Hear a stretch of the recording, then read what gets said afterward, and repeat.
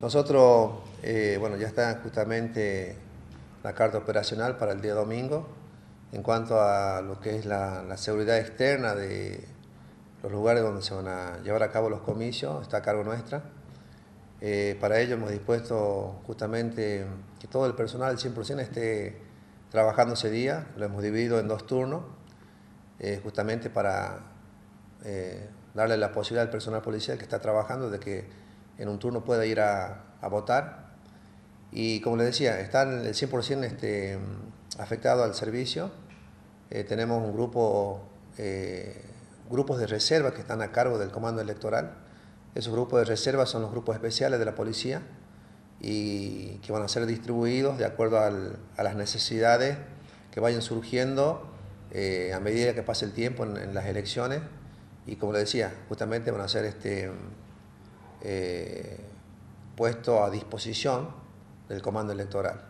¿Ustedes han tenido la posibilidad de reunirse con gente de gendarmería para, para, diagramar lo que va a ser este operativo? Sí, estuvimos reunidos en el transcurso de la mañana con el, con el coronel este, Celada, que es el comandante electoral en nuestra provincia.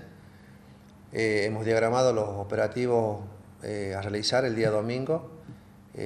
bueno, como ustedes saben, ellos son los encargados de la seguridad interna en los establecimientos donde se llevan a cabo las elecciones y nosotros, como les decía anteriormente, en la parte exterior.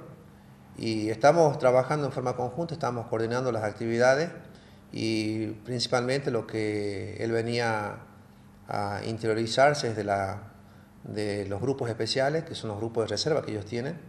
Eh, le dimos justamente la noticia que los grupos ya están eh, debidamente notificados y que el día domingo van a estar a disposición de ellos.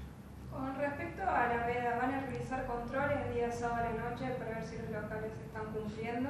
Sí, con respecto a la veda, bueno, a la veda electoral, como ustedes saben, comenzó hoy a las 8 de la mañana en cuanto a la cuestión política, la propaganda política.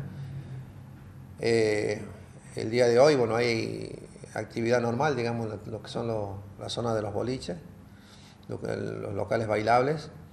Y este, en ese sentido estuvimos conversando y diagramando también las actividades con Inspección General de la Municipalidad, quienes son los encargados justamente de proceder a la clausura de los locales o de aquellos locales que no estén, este, eh, digamos, eh, habilitados o de los locales que estén infragantes, digamos, vendiendo bebidas alcohólicas a partir del día eh,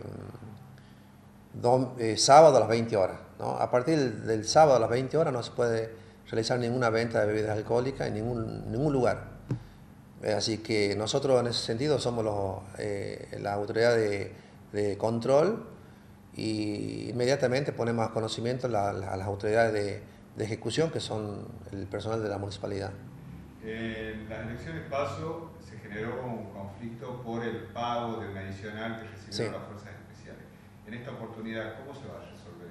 Sí, nosotros estuvimos hablando con el coronel eh, Celada, la verdad que eh, eh, es una cuestión que no depende de la jefatura de policía, no depende de, la, institución policial, porque justamente son grupos de, reserva, como le decía, y esos grupos de reserva son de alguna forma el viático que ellos cobran, lo paga el ejército argentino, y no es para, desgraciadamente no es para todo el personal policial, y así nosotros lo hemos comprendido, lo hemos hablado con, los, jefes de dependencia, les hemos explicado esta situación, eh, ellos lo han comprendido, así que de todas formas, eh, como le decía, estamos, vamos a trabajar ese día domingo el 100%, sin tratar de realizar, digamos, recargos masivos, simplemente cubrir, cubrir las guardias que corresponden y para eventuales eh, disturbios o incidentes que tengamos van a estar los grupos especiales, que ellos sí van a estar las 24 horas este, recargados.